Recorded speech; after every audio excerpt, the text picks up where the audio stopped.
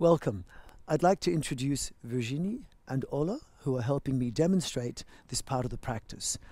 What I'm going to go through, and you guys can help, will be to demonstrate the effectiveness of using the four main principles that I've talked about, which I consider to be the fundamentals of an effective yoga practice that will differentiate yoga from just doing a workout. So the first of these is to move actively. Second, to move from your core. Third, to learn how to breathe naturally as the first place to breathe. And then the fourth is to move fluidly in three dimensional space. So let's explore these one at a time. The first of them is to move actively. So, what I'd like you to compare is a standard posture that you often see in many yoga classes, and then by moving actively I'll get you to feel the difference perhaps and see if you can feel this difference. So what I'd like you to try first is to do the standard downward facing dog pose. So come onto your mat and do a downward facing dog pose. And just I'll allow you to feel that for a few moments and notice if you feel stiff in any way, how it feels on your neck, your shoulders, etc. And then come back up. Now, what I'd like to give you is a set of simple spinal movements because essentially all of the practice has to do with your spine as probably the most fundamental and important part of your body. And that's also a fundamental in practice. I mean, we'd love to have strong arms and strong legs, but really, if I had to put it very bluntly, if you had to lose your arms and legs, you would still survive. But if you had to lose your spine and lose your trunk, you wouldn't survive. So I think the trunk and the spine and how it moves are the most important things.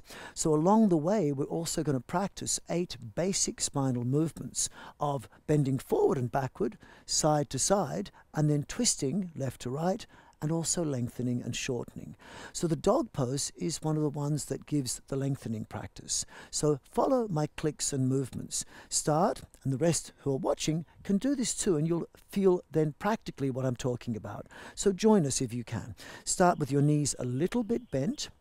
Then drop the sitting bones down. Imagine the sitting bones are like a weight on a string, which is your spine. Then move the body weight forward over the front of the feet, which will trigger the pelvic floor to work at the perineum and initiate the beginning of Mula Bandha. Then relax the abdomen. Abdomen relaxed, stay relaxed, and don't overstretch, over tense, or over breathe. Follow my clicks and movements. Lengthen the lower back, then the upper back. Move the pubic bone forward, then lift the shoulders as far as you comfortably can. Check the neck can move. Check the fingers can move. Then, subject to your level of comfort, take the arms up as high as you can. And then from that position, take the fingers higher, sitting bones lower. Check your fingers can move. Check your shoulders can move. Check your neck can move. And check your tummy can comfortably breathe. And then from this position, we allow a few moments. And if you spend even up to 30 seconds, you'll find you can start to go a little bit deeper. Don't force, but if you can, feel the difference between having the shoulders down, bring the shoulders down. Ideally, bring the shoulders forward and up. Now, you don't want to over tense, but the higher up you can go, the more you can lengthen, the more heat starts to come in the body, and you'll start to feel the body become warm. Now, if I can come to assist and adjust you in this practice, that will help other people understand. So if that's okay, if I can come to assist and adjust you, if anything I do with you doesn't feel right, let me know, please. So from this position, move the sitting bones down and forward and the top of the hips back, so you lengthen the lower back. Move the lower front ribwards backwards and lift and lengthen the upper back. Now relax the abdomen fully. So you let your belly expand like a baby's belly. I know it doesn't look nice in the beginning, but it's about how it feels. Now, if you can, take your shoulders forward and up higher. Taking the arms upwards will give you length in your spine. Taking the armpits forward can release your neck. So take your fingers to lengthen more check they can move. Take your shoulders to lift more if you can, shoulders slightly forward to release the neck. Check the neck is free. Lengthen your spine by lowering the sitting bones. Now expand the tummy and take a gentle in breath to the abdomen. And then bring your arms forward and down. Now, could you notice the body warm up? The body gets hot, but check. There's not an increase in the pulse rate. So what you've got is an increase in circulation recognized by warmth but not so much heart racing.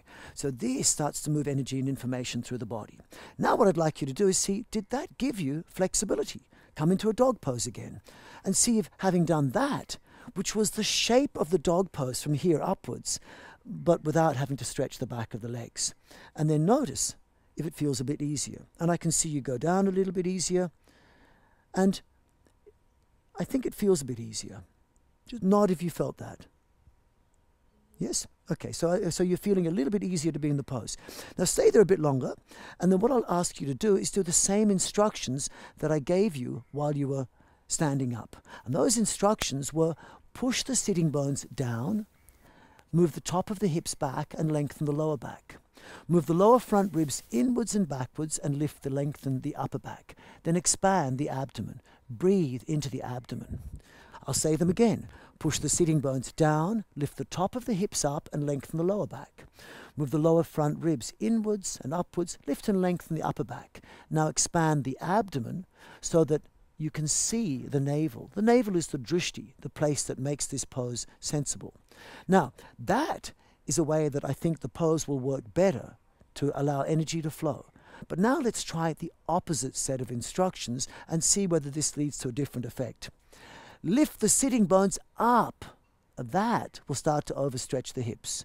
Bring the top of the hips down, and that will compress the front of the hips. And it shortens the lower back. Sitting bones up, top of hips down, shortens the lower back. Now pull the navel in toward the spine, and that will create tension and lock the core. And then open your heart center from the front, and that will start to it actually starts to compress the shoulders. So you hear those instructions in many exercise stretch classes, but they won't give you yoga. So once again, do what I said first. Sitting bones push down, top of the hips, lift up, lengthen the lower back, release the hips. Then lower front ribs move up, away from the floor, round out the upper back, and that frees up the shoulders. Then expand the belly. Breathe into the belly and check that your navel would be visible if you weren't wearing clothes. Then stand back up. Good. Can you tell me perhaps, did the dog pose feel easier when you got into it the first time?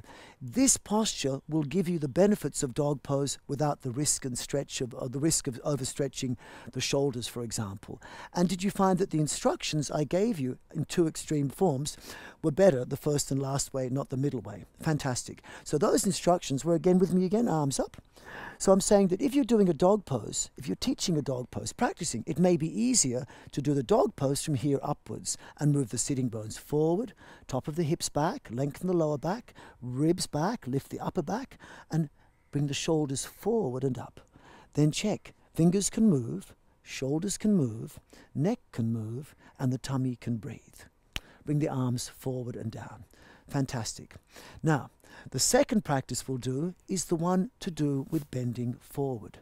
So when we bend forward, there's a lot of people who think that it's all about yoga yoga is, ooh, I can't do yoga because I can't touch my toes. Many people actually think that they can't do a yoga practice because they can't touch the toes.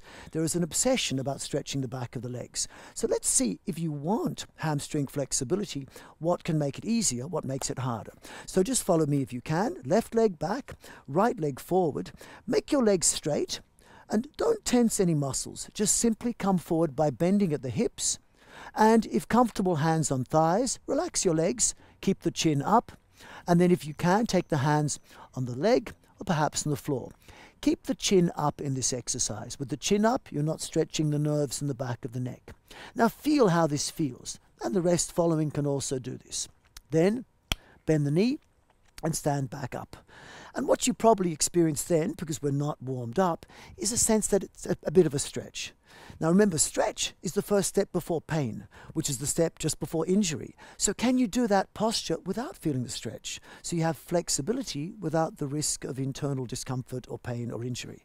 So one of the ways of doing it is moving actively and being in this shape but without just falling into it with gravity, which is how we mainly come in like that.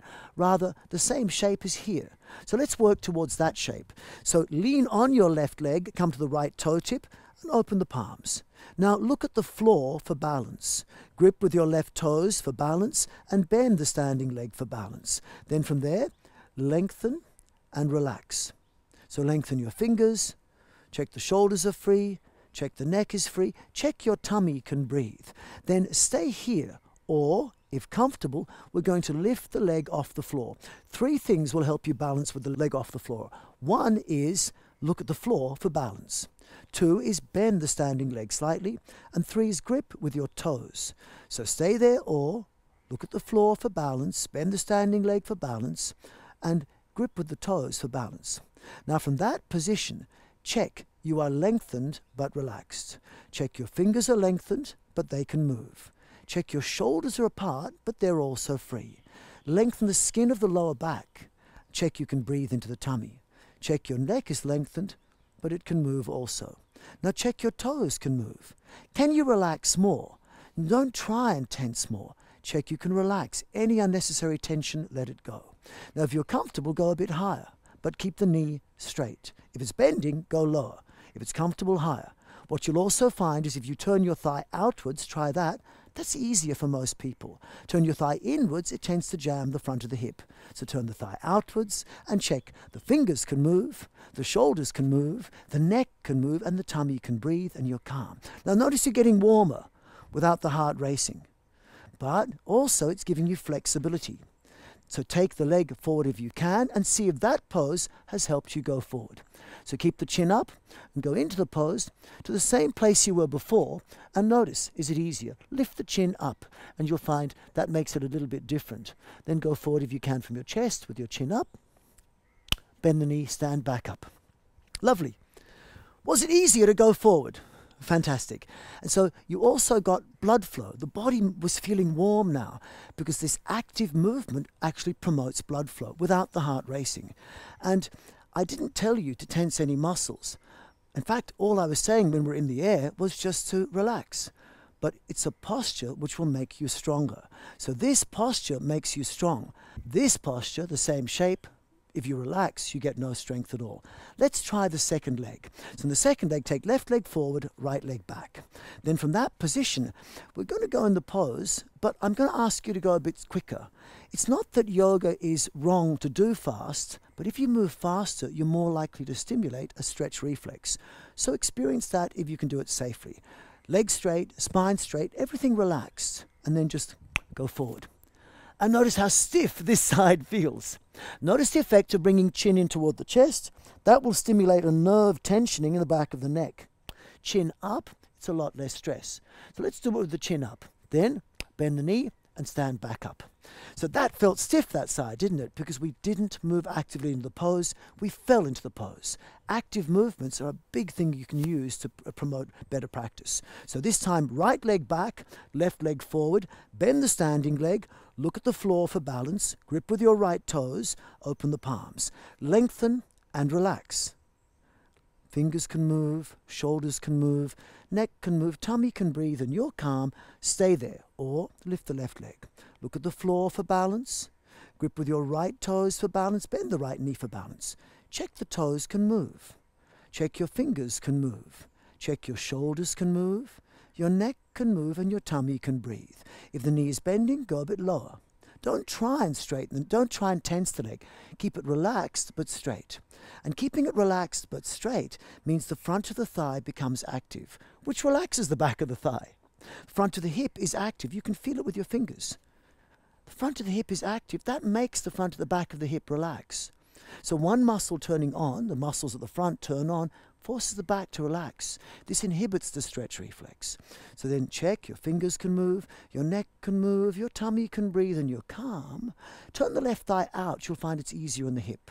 Turn the left thigh in, and a lot more stress comes to the inner hip thigh. So left thigh turns out, and now you're getting warm without the heart racing.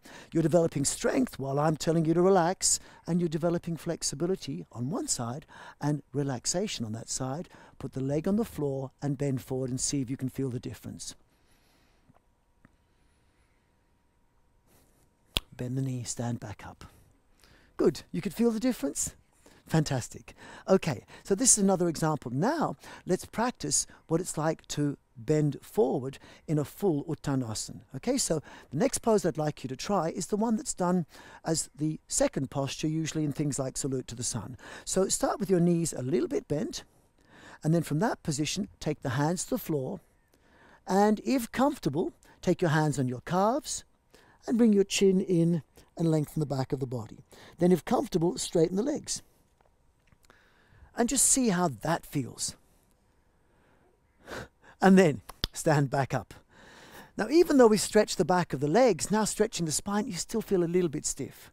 And as soon as you start feeling uncomfortable, the yoga stops and the exercise starts.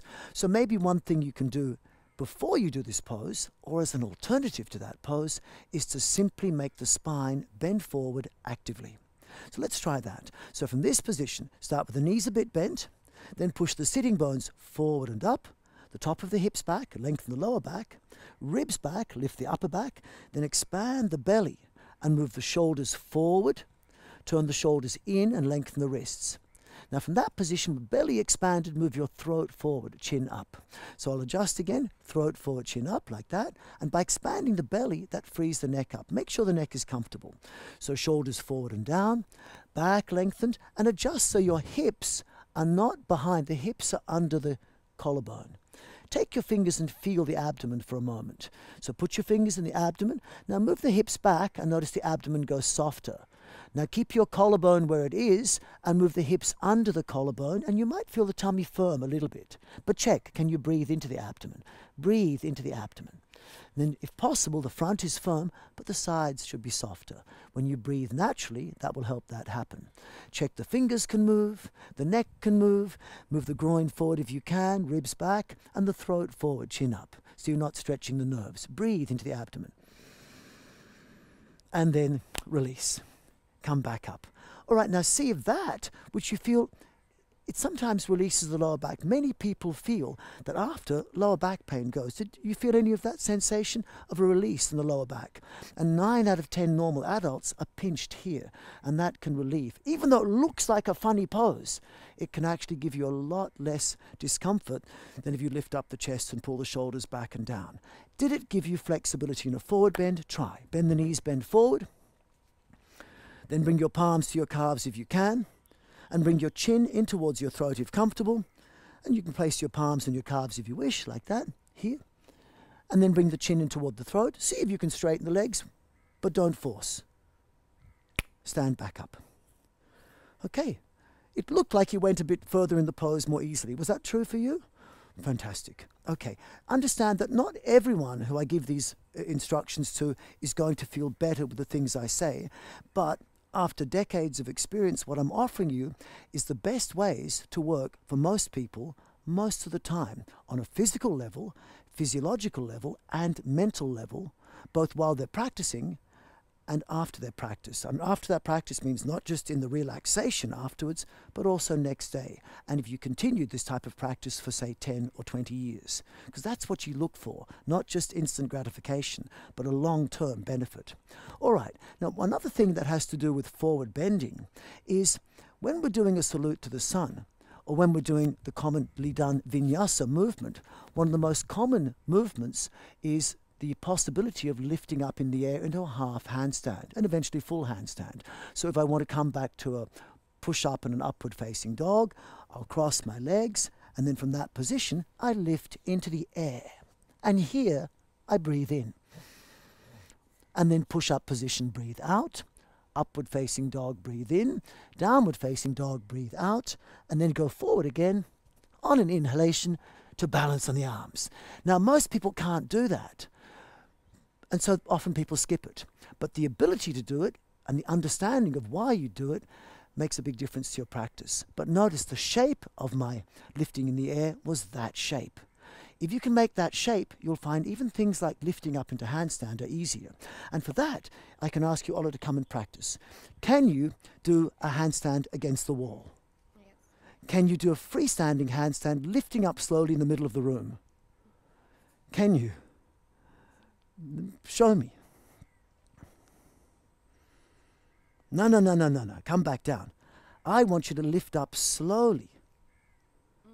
No, it's a bit harder. So rather than throwing the legs up, which is a little bit like if you had a bottle and you threw it, and then what the chances are of it landing on the right end. So if you place the bottle, it's going to balance more easily. But if you kick your legs up, it's a bit like throwing the bottle expecting it to land. So let's see if we can practice that. At least you can do a handstand against the wall, so I know you're safe to try this. Place your hands on the floor if you can. And now from that position, bring the shoulders towards my knees and don't go further than my knees. And my knees are just here to support you if you need. Then push the sitting bones down and lift the top of the hips up, lengthen the lower back. Move the lower front ribs inwards and upwards and lift and lengthen the upper back. Then, can I touch your abdomen? Push your abdomen against my hands. Then from there, breathe into the abdomen, and as you breathe in, notice if you sense the body can more appropriately lift up. Then come back down. Lovely. That felt pretty easy for you to lift up. What I'd like to try now is give you a different set of instructions and see if you notice a difference in the practice. So put your hands on the floor again, please. Then from that position, again, bring your shoulders towards my knees. And this time I'll give you instructions that sometimes people teach. Push the sitting bones up and bring the top of the hips down. Fold forward from the hips. This instruction is not wrong, but in this case, it makes it more difficult. Then pull the navel in toward your spine and expand your chest. Then, instead of breathing in while you lift up, I want you to exhale, contract your abdomen, then take a deep breath into the chest as you try and lift up. And what happens? Nothing. There's absolutely no power. So, by actually saying push the sitting bones up, by pulling the tummy in, opening the chest, and breathing in the chest, you lose the power. So let's do the first one again. But can I suggest that when you lift the legs up, it's much easier if you bend the knees. When you feel your body lift, bend the knees. So one more time if you can. Palms flat, fingers grip, bring the shoulders forward toward my knees. Then raise the heels and push the sitting bones down. Lift the top of the hips up and lengthen the lower back. Move the lower front ribs inwards and upwards and round out the upper back. Then expand the belly. Expand the belly. Push the belly down toward my hand. Push the belly into my hand. Push down my hand. Then breathe into the abdomen. Let the knees bend a little bit. And then from that position, notice the handstand comes a lot easier and balance is even easier. Now come back down, knees to the chest, and stand back up. So could you feel the difference in power just by changing those instructions? Thank you. Okay, beautiful. Virginie, can we come back? The next movement I'd like you to practice is the bending backwards ac action. So the bending backwards one is the one that we do in poses like the upward facing dog pose. So if it feels okay for you to do, I'd like you to try an upward facing dog pose. So from this position, kneel if you wish, and then move the hips down towards your hands if comfortable, lift the knees off the floor if comfortable, and expand to do the upward facing dog pose. And then just note how it feels. Note how easy it is to collapse in this pose. If you wish, gently collapse a little bit and see how a pinching may tend to come. Now, come back to a kneeling position and just stretch back for a moment and stand up. Okay, the upward facing dog pose and most bending backward poses can be the most uncomfortable movements for many people who begin a yoga practice. And part of the reason is because we sit so long in chairs, the front of the hips get compressed, and if the front of the hips are compressed from sitting on chairs, when you stand up, you stand up like this. But people want to see where they're going. So to stand up straight, they squash the lower back. And so most people in the modern world sit for 5 to 15 hours a day since childhood, and this leads to a profound compression of the lower back, which, if you come to a yoga class, having not led the natural lifestyle of someone, say, in traditional ancient India, where they don't sit on chairs, where they walk all day, then upward facing dog can be threatening and uncomfortable. So if you can do an, an upward facing dog movement without collapsing, it can be a lot better. So I'd like you to try two types of bending backward from standing. So start with your knees a little bit bent. Then from that position, push the sitting bones down and forward and move the top of the hips back and lengthen the skin of the lower back. So if you grab the skin of your lower back, just stand up straight, try and grab some skin. Then if you bend the knees and push the sitting bones forward and the top of the hips back, you'll find it's harder to grab the skin. Then if you expand the belly, it's harder still. Then from that position, move the groin forward, top of the hips back, lift the collarbone and drop the tailbone. Then expand the belly and the chest, take your shoulders back, palms open and the chin in, neck back. So chin in, neck back. So you're looking for expansion at the front, jaw relaxed, fingers can move, shoulders can move, neck can move, tummy can breathe, and you're calm. And then stand back up. Any pain or discomfort in your lower back? It felt okay. That can give you the feeling of upward facing dog without causing problems. Now, what can go wrong is instead of lengthening the front of the body, often people shorten the back. Now, from the front, it doesn't look much different, but look from the side when I do these movements. This is a fairly safe for everyone expanding the front posture this is a painful squashing the back posture for many people. And perhaps you can see the difference. Here I expand the front of my body bending backwards. Here I shorten the back of my body bending backwards. Here I expand and lengthen the front. Generally causes no pain in most people.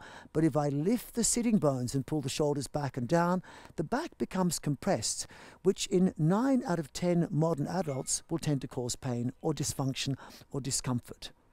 So let's see if, you can try this way, which I won't call wrong, because some people are okay with it, but 9 out of 10 will feel dysfunction. So from where you are now, stand with your knees a bit bent, and careful anyone trying this who has got back pain, do it gently. Knees bent. Let's shorten the back of the body. Sitting bones backward and up, shoulders backward and down, and see how that feels.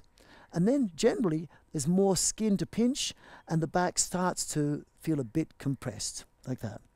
Come back up. So that's not a wrong movement, but 9 out of 10 people will experience pain. And often that will happen very easily in an upward facing dog pose. So if you can find a way of doing it without bending backwards and squashing, it's much better.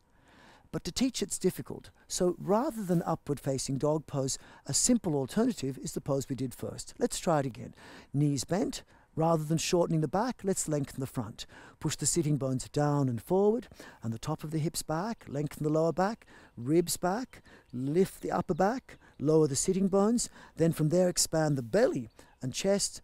Pull the shoulders back, have your chin in, jaw relaxed. Open the palms and lengthen the front of the wrist and the lung meridian.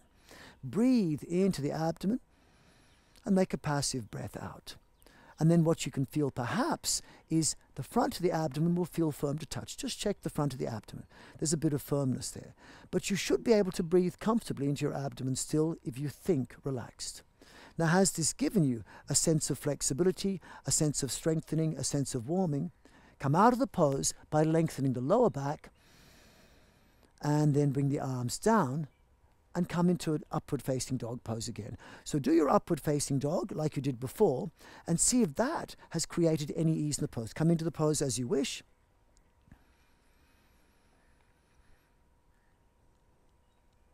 Lovely. And then come out of the pose as you wish. Good. And then did that feel any easier the second time you did the upward facing dog? A little bit easier. So what I'm looking for when, when I'm doing this posture is here my front is firm. My sides are completely soft. I'm breathing naturally and using the rectus abdominis to hold me in place. This is easy to do when you're leaning back, but in an upward facing dog pose, I'm looking for the same thing. Here, the front of my body is firm. The sides are completely relaxed. For most people, an upward facing dog has either everything tense, which creates stress, or everything relaxed, which will often mean the lower back pinches. So let's work with the next one.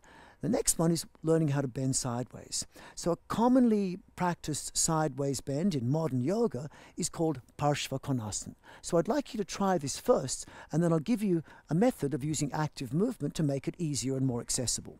So start at the front of your mat, bend the knees slightly, and step the left leg back.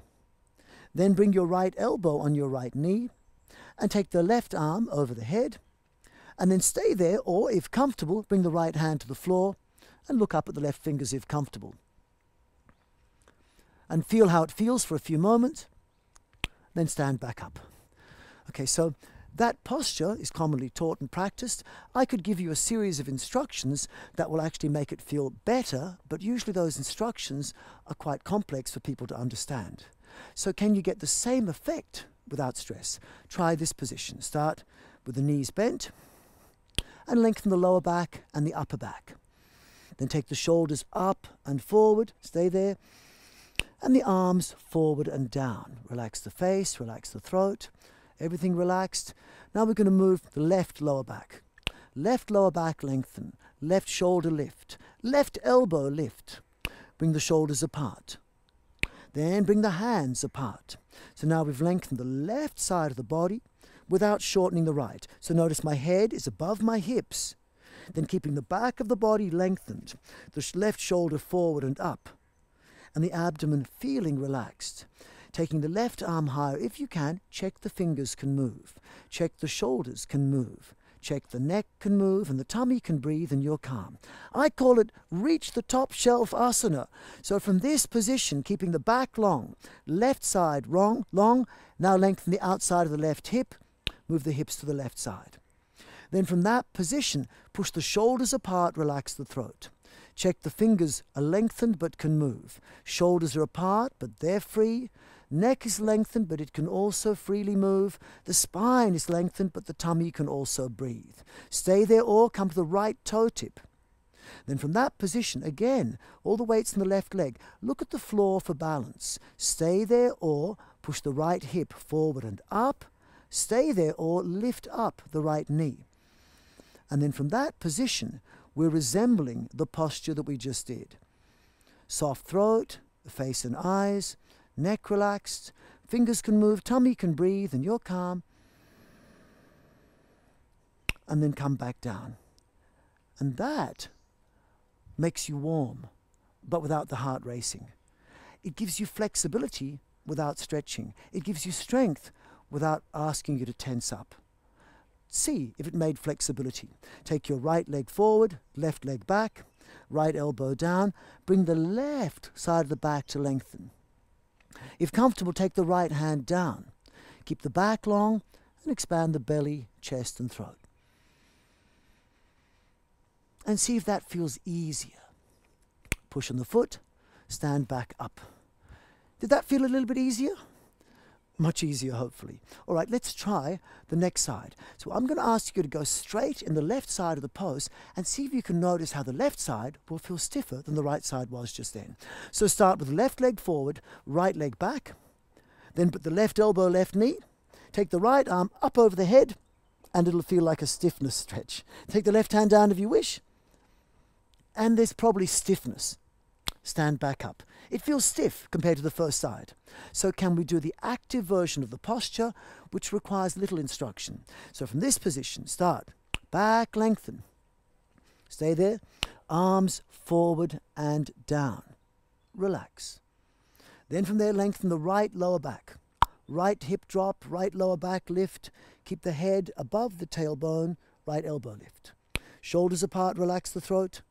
Hands apart, check the neck is free. Right hand higher, left hand lower. Keep the back long. Keep the right side long. Keep the front of the hips open and the belly relaxed. Take the right arm higher, left arm lower. Stay there, or with the back lengthened, right side of the trunk lengthened. Focus on lengthening the right hip by moving the hips to the right. Then from there, shoulders apart, relax the throat. Fingers can move, shoulders can move, neck can move. Stay there or come to the left toe tip. Then keep the back long, and if comfortable, push the left hip forward and up. You may even feel the left side firm, but the right side should stay relaxed. Try and relax more. Then stay there or look at the floor for balance. Grip with the right toes for balance, and stay there or lift up the left leg. Now we've got the shape of Parshvottanasana, either in the air or on the floor, whichever is best for you. Check the fingers are lengthened but can move. Shoulders apart but they can move. Neck lengthened but it can move. Spine lengthened but the tummy can breathe. You're calm. Focus on relax.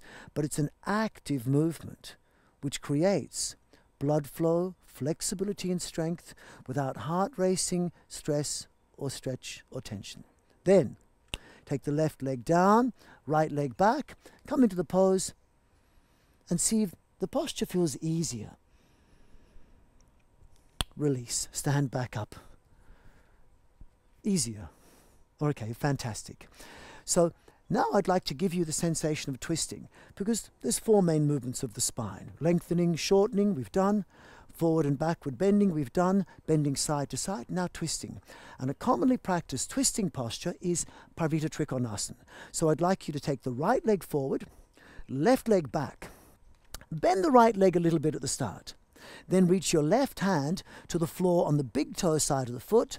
Take your right arm to the ceiling if you can. If the body is flexible enough, straighten the right leg.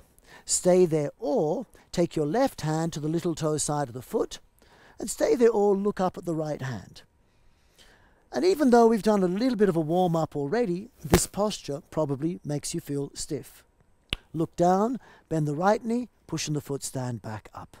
And there's probably a bit of stiffness there. It's not something you die to get into first thing in the morning. So can you do an active movement which brings you to the place a little bit easier? So start with your knees a little bit bent and lengthen the back of the body.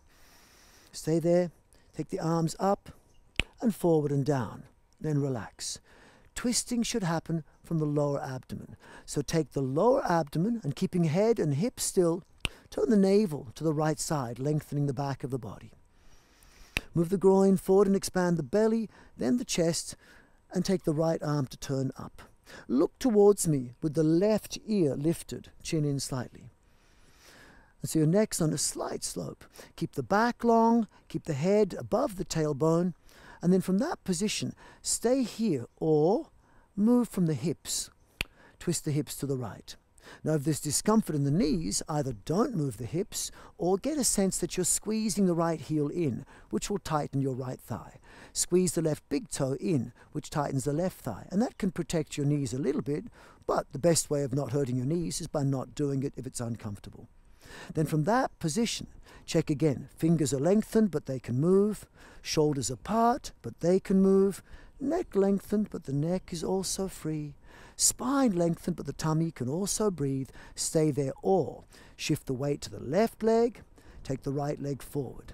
Stay there or make the navel rotate to the right, make your pubic bone rotate to the left. And stay there or look at the floor for balance. Grip with the left toes for balance. Stay there or pubic bone up, belly down. Pubic bone to left, belly to right. Stay there or lift the right leg off the floor. And check once again. Fingers are lengthened but can move. Shoulders apart, shoulders can move. Neck lengthened but it can move. Trunk lengthened but check your tummy can breathe naturally. Then from that position, bend the elbows, bend the knees, and come back down. Notice it creates warmth without the heart racing. Notice your body gets stronger from doing it, but the emphasis just then was relax. Has it made you more flexible? Try. Take right leg forward, left leg back, bend the right knee to start, take the left palm to the floor, take the right arm up if comfortable, straighten the right knee if comfortable, and left palm to the little toe side of the foot if comfortable. Look up if you wish. Look down, bend the knee, pushing the foot stand back up. Was it a little bit easier? Fantastic. Let's compare that, which we moved actively into just then, with the other side and see if the other side feels a little bit stiffer because we haven't prepared for it. Take the left leg forward, right leg back. Bend the left knee if you need. And take the right hand down, left hand up. Straighten the left leg if you wish. Right hand to little toe side of the foot if you wish. And probably what you'll find is this side feels stiff bend the knee, pushing the foot stand back up. That side feels stiffer than the first side. We didn't prepare for it. So instead, let's move actively into this posture. The actual posture we did just then is not necessary. The active movement is probably more important to learn first. So start. Back, lengthen. Arms go forward and up, then forward and down. Relax. Abdomen relax, move from the lower abdomen, lower trunk, Keep the back lengthened as you twist the body to the left. Keep the head and hips still. Lift the arms. Keep the back long. Move the hips forward and expand the belly. Then the chest. Keep turning to the left side. And look towards me with your right ear lifted helps the neck stay safer. Lengthen the fingers, check they can move. Push the shoulders apart, check they can move. Lengthen your spine, check the tummy can breathe, your neck can move. Stay there or, having moved the trunk and the shoulders, option, move the hips. Then make it safer for your knees if you wish. to squeeze the left heel inwards, tightening the left thigh. Squeeze the right big toe inwards, tightening the right inner thigh if you wish to. If you don't need to, don't. And if you don't wish to move your hips, don't. Don't do anything which causes discomfort or pain. Stay there or shift the weight to the right leg. Stay there or bring the left leg forward. Keep the sitting bones down, top of the hips back, lengthen the lower back. Ribs back, lift and lengthen the upper back. Shoulders apart, relax your throat. Fingers lengthen, check they can move. Now move the navel to the left, move the pubic bone to the right. Move the navel down, move the pubic bone up. Stay there or lift the left leg into the air. Only as high as you can with the legs straight, and then lengthen in all directions but check you're relaxed.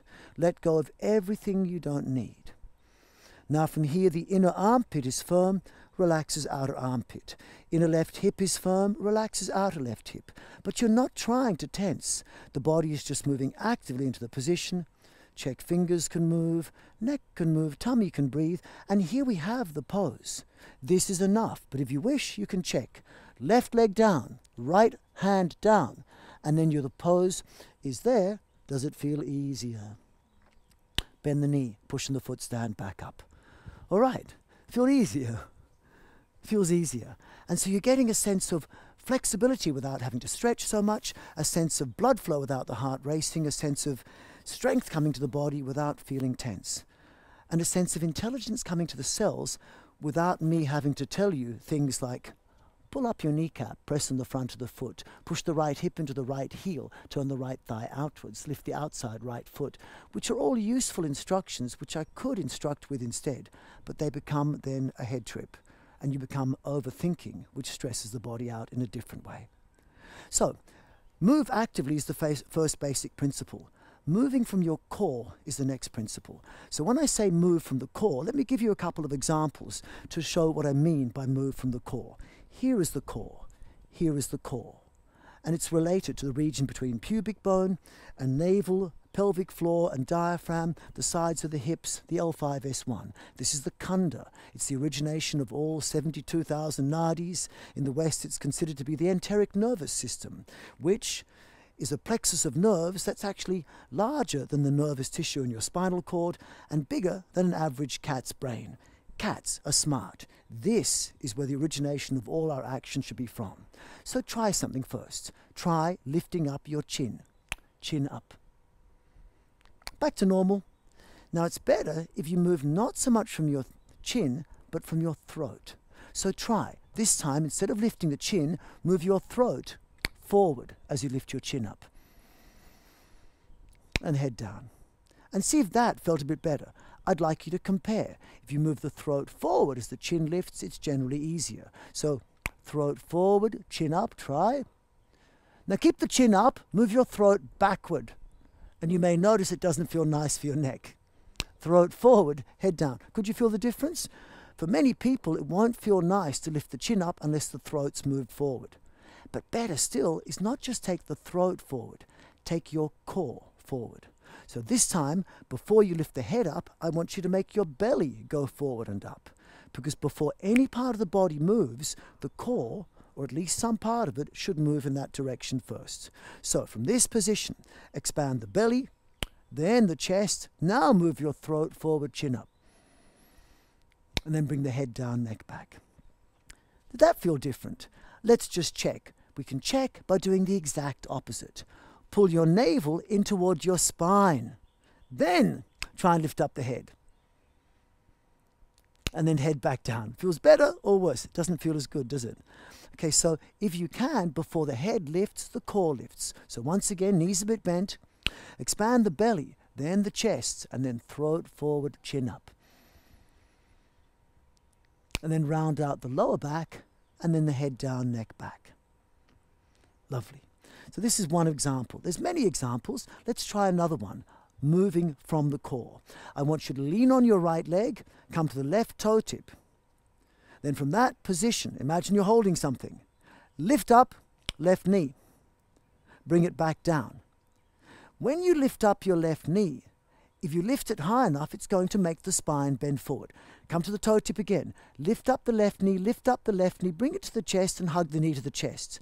Can you notice how the spine had to bend forward to bring the knee to the chest? Okay, so if, come back down, if the spine has to bend forward to bring the knee to the chest, maybe we should bend the spine forward before we bring the knee to the chest. So make the spine move into the place first before the knees bring up in that position. So start onto your left toe tip again. This time before you move, round the back out into a forward bend first. Relax.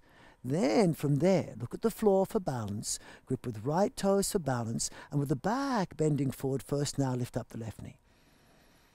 And come back down. Does it feel better? Let's check. Let's do the opposite. Stand up straight. Pull in your navel, open the chest, open the heart center. Fold forward from the hips. Now lift up the left knee. And come back down. It feels stiff, difficult to do. So, better way. Bend the knees slightly, Back bends forward first, everything relaxed. Then lift up the knee. Come back down. Easier. Come to the right leg. So with the right leg, lift up the leg normally. Up, down. And it's a bit heavier. How do we improve it? Move from the core. Round the back out. Relax the abdomen. Push the pubic bone up, then lift the knee up. Come back down. See if it's easier now compare the opposite. Push the pubic bone down and back. Then lift the knee up, and the leg will feel heavier. So better, push the pubic bone up, bend the spine forward, relax, lift the knee up. Come back down. Good. This is what it means to move from the core. Many examples are possible, and we'll do some of them in the practice as well. Next thing, learn to breathe naturally as the first place to breathe. Now, any fancy breathing is possible, but is it going to cause more stress or less stress? So, what you want first is to always check in any position, like it says in the Ashtanga Yoga treatise of Patanjali, before you attempt any pranayama, check that you're established in asana. So, focus on making the posture firm but calm, sthira sukham asanam, before you do any fancy breathing. And if you're not doing fancy breathing, what sort of breathing should you do? The breathing we learned as children. That's called natural breathing and it has five features. Breathe in to your abdomen. Breathe out passively. There's not much natural breathing. It's invisible, inaudible breath. You can forget about natural breathing. It happens by itself, like when you're asleep, and it's through the nose. So let's try natural breathing and compare it to forced unnatural breathing. Not saying any fancy breathing is wrong, but first at least re-establish the possibility of natural breathing. Put your hand on the abdomen, hand on the chest, and use the hands as biofeedback. Keep the chest still and make an in-breath to the abdomen so your abdomen expands as you breathe in, like a baby's belly. Looks a bit funny, I know, but it's not to show other people, it's for yourself. And then make a passive breath out. Let the air go out by itself. If the air is going out by itself, your tummy shouldn't get harder.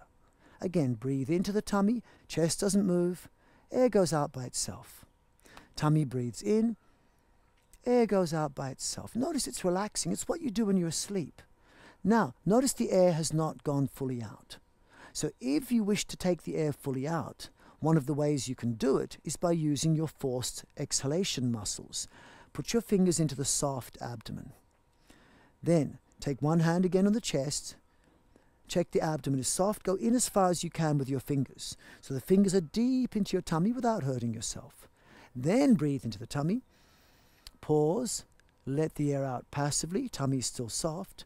Now exhale fully by pulling the tummy into the spine without lifting the chest. Make the tummy go in and make it hard. Keep the tummy in and keep it hard. Keep the tummy in and hard. Now try and breathe into your tummy without letting it go soft. And notice what happens is either you can't do it or the chest starts to breathe, or you cheat and your tummy expands. You see, just like the active movements we did before, when one muscle turns on, the opposite muscle turns off.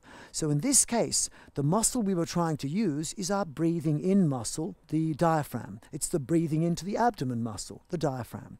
So when you forcefully exhale into the abdomen, the forceful abdominal exhalation muscles switch on and they make the diaphragm, the inhalation muscle, turn off. So you can no longer breathe in a relaxed way. So is that the only way you can tighten your abdomen? The answer is no. There are many ways to tighten the abdomen, but the one you did just then is the least useful because it prevents natural breathing. So this time, feel the abdomen, push your fingers in, and then from there, do like we did for the preparation to the upward facing dog. Bend the knees slightly, push the pubic bone forward, and lean back, lifting the collarbone, chin in. And notice the tummy pushes out against the fingers. Can you feel that? So the tummy became firm. Let go of your hands. Relax. Relax means check the fingers can move, check the shoulders can move, check the neck can move, check your tummy can breathe. Can your tummy breathe? The answer is yes. Check is the tummy still firm?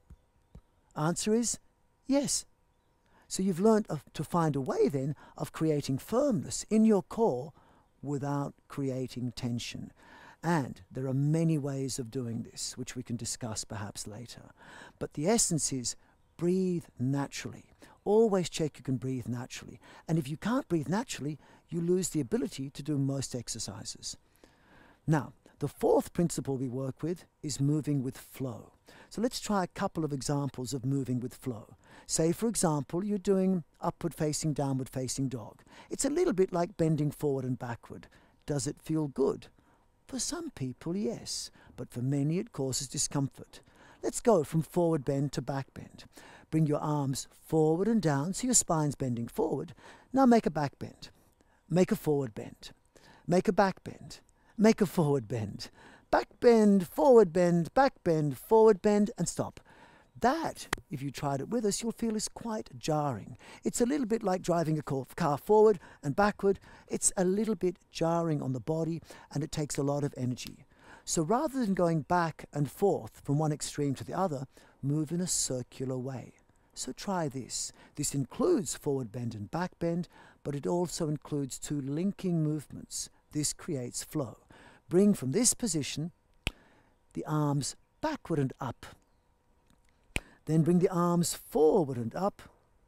Lengthen your spine, hips down, arms up, and arms forward and down. Keep your eyes on me. Back lengthening, front lengthening, trunk lengthening, front shortening. Lower back lengthen, upper back lengthen. Belly expand, chest expand. Bend the elbows. Sitting bones down, arms forward and up. Pubic bone down, arms forward and down. And my double click means continue.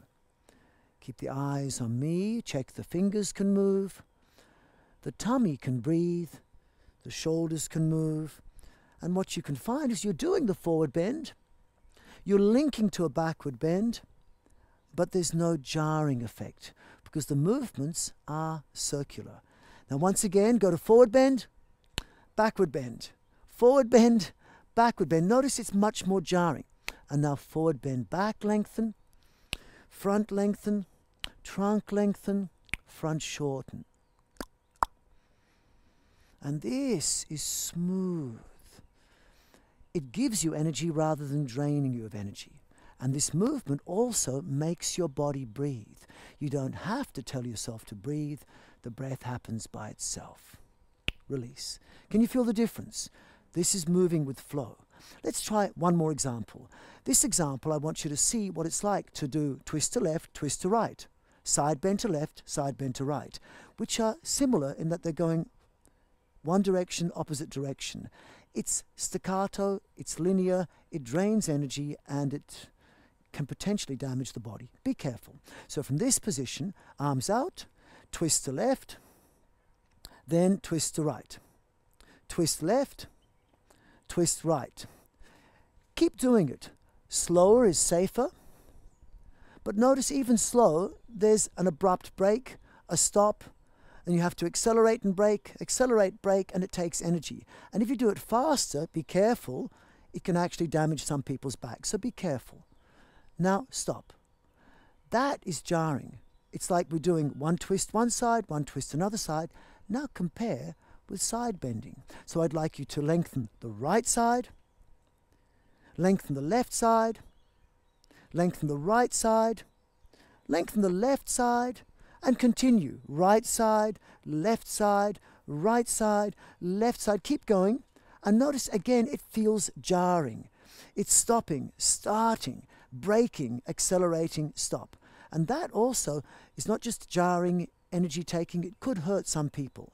So rather than doing linear movements going back and forth, you uh, make them link and you move in smooth curves in three dimensional space, which can be done in many ways. And one of them is to link those two movements together. So from this position, I want you to lengthen the right side. Now, twist to the right side. Lengthen the left side, twist to the left side. Lengthen the right side, twist to the right side. Lengthen the left side, twist to the left side. And keep going. And then notice that there's no jarring. That actually, like this, you can either go slower or faster but it doesn't feel like it's jarring. Now compare again. Twist to right, twist to left, twist to right, twist to left, side bend left, side bend right. This takes energy, it takes work, and it's jarring. Now again, like that. Side bend, twisting. It's a little bit like doing backstroke swimming, a little bit like swimming backstroke. And with this, although slow is safer, you can actually go quite fast and it doesn't feel jarring at all. And what happens is you make blood flow. Now, from that position, take your legs a little bit wider and pause here, which is twisting to the left, sorry, to the right, and side bending to the left. This actually becomes this posture. Then come back up. Then from that position, twist to the right side. This is the simple version of this posture. Then come back up, lengthen the left side, and again we're in this posture. Twist to the left side, and we're in Parivrtta Parshvottanasana. So actually what we're doing is Parshvottanasana, Parivrtta Parshvottanasana, Parshvottanasana, etc., like that. So this is giving you the simple version of these poses, and notice it makes you warm without your heart racing. So these are the four basic principles then.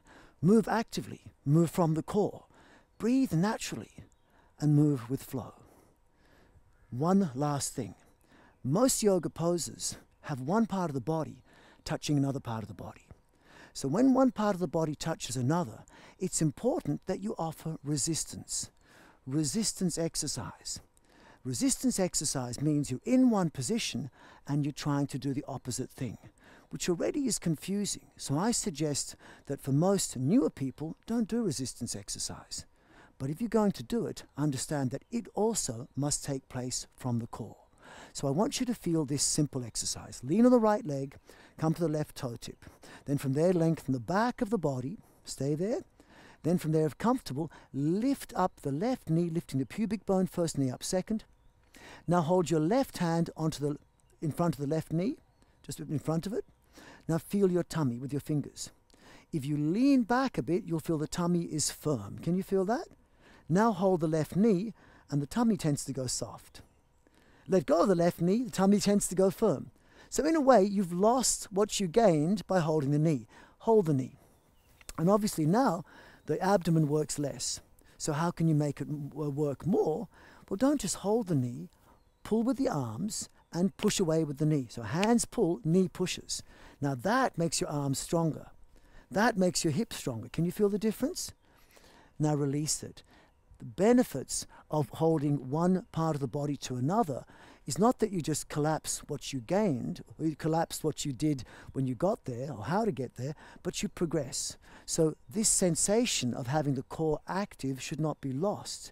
It just must change. So what I want you to do is sense what would happen if you really pulled the arms in and the knee away?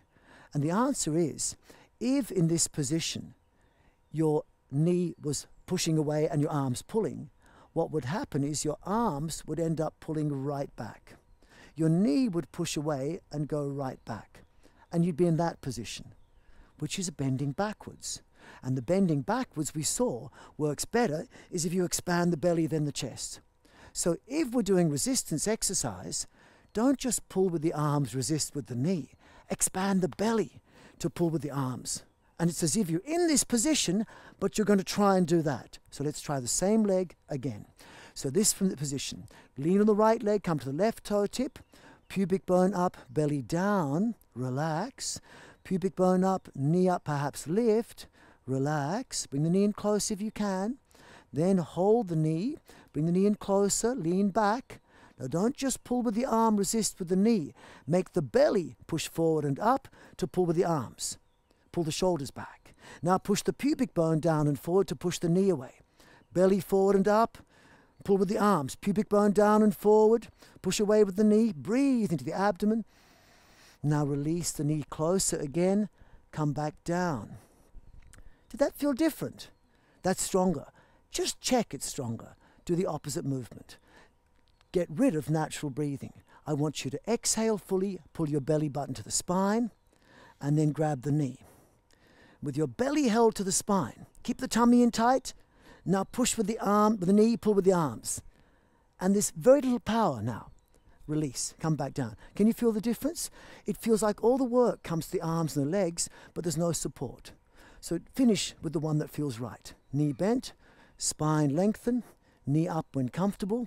Hold the knee if comfortable, bring the knee in close, and not just pull with the arms, not just push with the knee. Make the belly go forward and up to pull with the arms. Push the pubic bone down and forward to push away with the knee. Now breathe into your abdomen. Now you're resisting actively from the core. Then pull the knee in close, flow to release back down.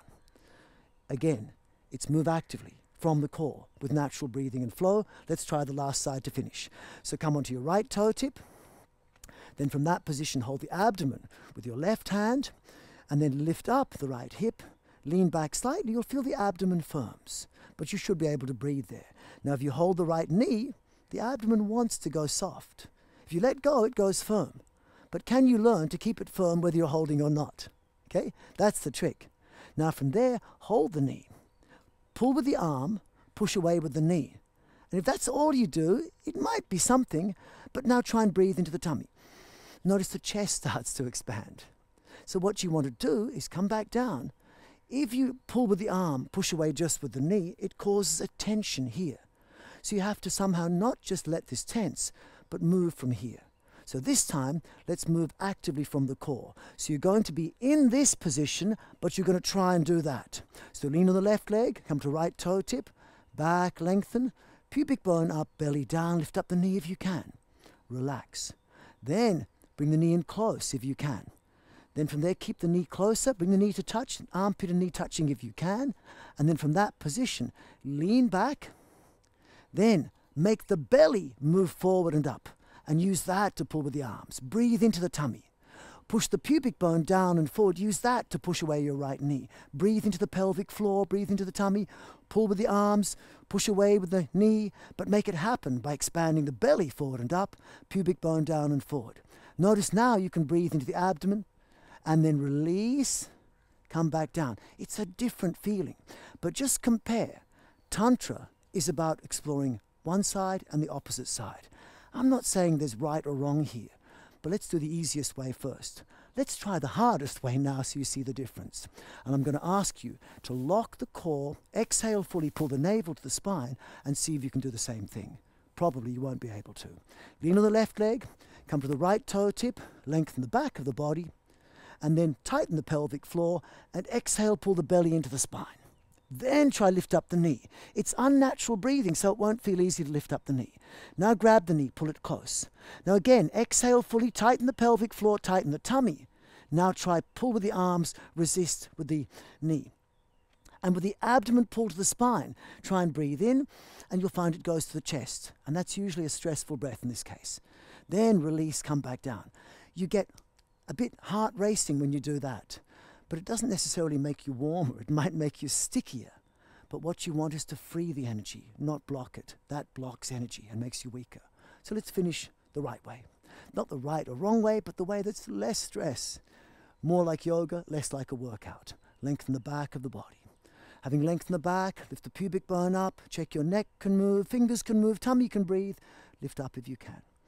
Then from there, take the knee, bring the knee and armpit to touch, lean back.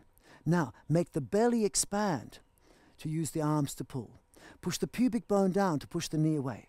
Breathe into the abdomen. If you can, knee and shoulder touching. Lean back. So you're in this position. Knee and shoulder touching if you can, then lean back. Now make the belly expand. Now push the pubic bone down and use the belly expansion to pull with the arms. The arms will feel stronger. Push the pubic bone down and forward, and the knee, the hip will feel stronger. Breathe into the abdomen. Then lengthen the lower back, upper back. Release and flow down. You can feel the difference? This is moving actively with resistance from the core with natural breathing and flow. So these four principles are the base. But once you use them, you can create posture, movement, and breath control that can effectively give you strength without feeling tense. So, uh, increased flexibility without painful stretching, increased blood flow without the heart racing, increased energy without having to breathe so much or eat so much. And you'll be able to practice in this way and finish the practice where you'll have more energy than, than at the start, less need for food or sleep, which is different to a workout. In the workout, we finish, we're tired, exhausted, stressed, and need food and sleep. That's the way I differentiate it.